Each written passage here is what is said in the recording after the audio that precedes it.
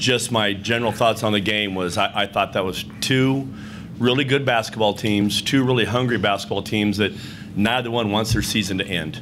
And you, you, you have to give credit where credit is due, and it goes all over the floor tonight. One over to Fort Wayne. I just think Jon Coffman does a terrific job with his basketball team. I think he puts together a great team every year.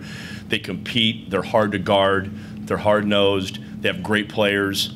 Uh, you know, John Koncharz has been a bear for us for four years. We're fortunate he missed one at the end, but I thought we did a good job of pressuring him.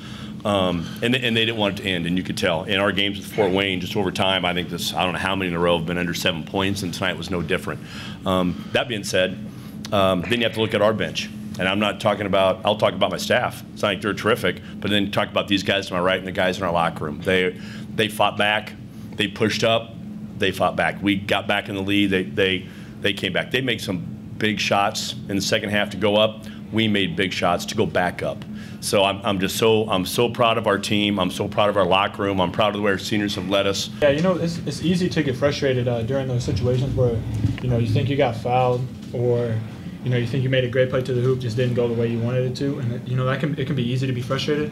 But when you have guys like we do on a bench and guys on the court who are always saying, you know, next play, move on. You know, we got to we got to lock up on defense. It's, it's easy to let that frustration go and move on to the next one.